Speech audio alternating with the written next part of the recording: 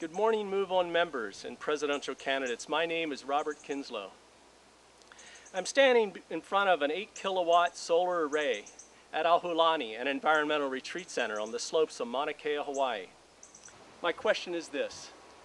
Given the historical relationship between our American government and big business, that is, socialism for big business and capitalism for the rest of us, given the billions upon billions upon billions of tax dollars spent to subsidize the dirtiest of energy producers, oil, coal, and nuclear, what do you think a sustainable energy policy would look like? One that doesn't pollute, destroy, or degrade our children's natural heritage.